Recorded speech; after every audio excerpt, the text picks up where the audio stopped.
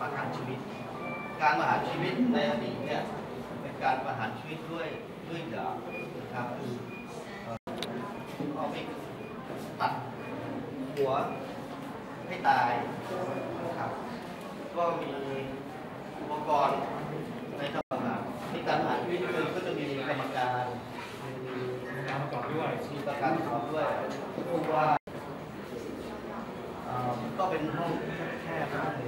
งเป็น เพลิงก็มีการจะพาที่บางบาเป็นอาคารใหม่ที่ทำให้เสียชีวิตเข็มแรกก็จะให้กลับก่อนไล่มาอย่างสองก็ใช่ไงมันยิงแฟลชเลยแพทย์จะมีถึงแล้วก็อยากให้งานเฮียกล้องใหญ่เลยถ้ามีใครไปตีเนี่ยนักโทษจะเสียชีวิตเขาเลยไม่กล้าจะตีอีกเลยก็เป็นสิ่งของเป็นของที่คนเราที่ไว้เอ่อม้าเข้าไม้เข้าขื นนะครับ แล้วก็มือสอดเอาไว้ขาไว้ อันนี้จะครับทรมานใส่แล้วก็ให้ช้างเตะให้รับสารภาพให้ทรมาน คือในสมัยก่อนต้องการให้คนทำผิดเข็ดหลาบหลับจับ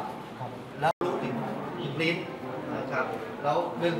ใช้รอบดึงให้ขาเนี่ยเขย่งขึ้นให้สูงอันนี้เป็นเครื่องทรมานของเพชฌฆาตชื่อนายเหรียญเพิ่มกำลังเงินเอ่อเชิญมา ที่ที่เปิดในตอนที่ผมทำพิพิธภัณฑ์ที่สวนลุมพินีนาถพระอาจารย์วัดบางแพรเคยมาทำพิธีแล้วก็ท่านก็จับที่ดาบท่านก็บอกว่ายังมีแรงอยู่แหลมปลาปลายตัดอันนี้คือดาบประหารทั้งนั้น กรองอาจจะโทษเดิมตอนที่ฝรั่งทำนะ ก็คือ คือเดินจำพิเศษบริเวณเนี้ยสำหรับปลูกบ้านผู้คุมบ้านพระธรรมรงค์อยู่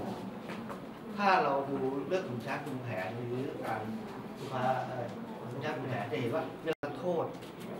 เสื้อผงไม่เสื้อผ้าไม่มีญาติต้องเอา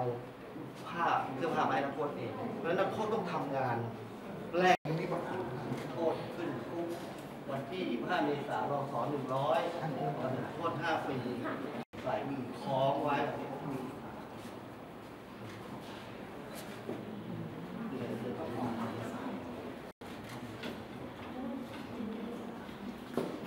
ก็หลับไม่ได้ครับ สลับแล้วก็กลัวถูกบีบเข้ามากลัวถูก ทรมานสมัยก่อนกฎหมายแรง แต่สมัยนี้ไม่แน่อาจจะสลับไปแล้วนนี้คืออย่างโบราณตำแหน่งนี้คือตำแหน่งพระธรรมรงค์ที่พัฒดีนะครับก็แบ่งนักโทษออกเป็นสองอัน พวกที่จะไปทำหนักพวกจะไปอาบน้ำก็แยกกันก็แล้วนี่ก็ดูของนักโทษเราเขามาเป็นศพกระโหลกของนักโทษอยู่ตอนเราที่เราเราย้ายเรือนจำ พวกผ่านนักโทษเดิมนะครับแล้วก็มีคนเนี่ยปกติจะมีเขาเรียกนะเงินเงินอยู่ในเนี้ยเงินปากปีเงินปากปีใช่ไหมมีคนเอาเงินไปในอดีตถ้าพวกเราเกิดทันนั่งแท็กซี่ไปบอกว่าจะกลับคลองเปรมแท็กซี่จะขับมาที่นี่เลยไม่ขับไปที่ลาดพร้าวแต่ถ้าบอกราชการแท็กซี่จะขับไปเออมาไว้ข้างๆกันดิถือด้วยนี่ก็เป็นการฝึกอาชีพมานานแล้วนานแล้วครับ เริ่มมีการฝึกอาชีพฝึกวิชาชีพระดับโครงการแม่และเด็กนะของครอบครัวกรุงเทพที่บอกว่าผู้หญิงท้องห้ามอาบน้ำใช่ไหมห้ามใช้เครื่องประดับผู้ช่วงอาชีพเพราะว่า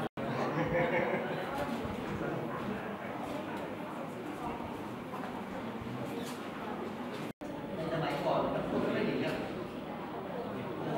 โอกาสโทษ นี่ก็เริ่มลิบบัญชีผู้ต้องขังหลบหนี ต้องฟ้ามีมีแล้วก็มีนะแล้วที่เป็นจับตามจับไม่ได้เพิ่ม ใครนะ เท่าที่เป็นจับ นี่ต้องพกครับเข้าเอง ด้านนอกนะครับข้างในไม่ให้ครับไม่ให้เข้าไปเพราะกลัวว่าเดี๋ยวผู้ขังแย่งใช้แต่ตะบองใช่